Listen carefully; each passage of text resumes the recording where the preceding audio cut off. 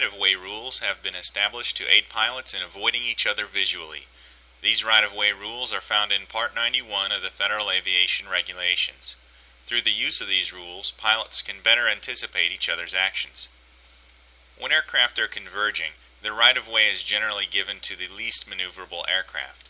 The aircraft not having the right-of-way is to pass well clear of the aircraft having the right-of-way. First priority goes to an aircraft in distress. An emergency aircraft has the right-of-way over everything else.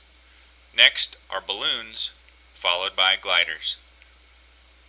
Notice that a glider is more maneuverable than a balloon. It's not practical for a balloon to try to move out of the way.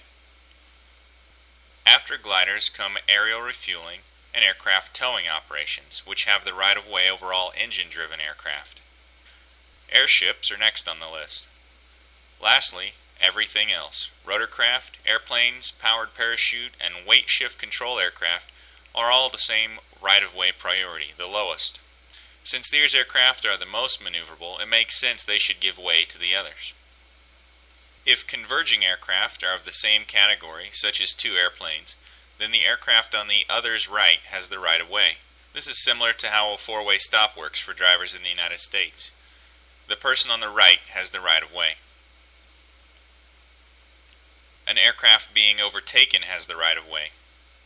The aircraft being overtaken is likely unable to see the faster aircraft approaching from behind.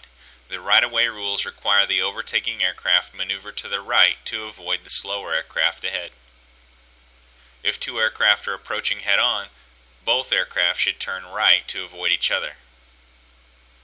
Finally, while approaching a runway for landing, the aircraft that is lower has the right-of-way. An airplane on approach also has the right-of-way over aircraft or vehicles on the airport surface. The regulations specifically forbid pilots from taking advantage of these right-of-way rules to cut off another aircraft.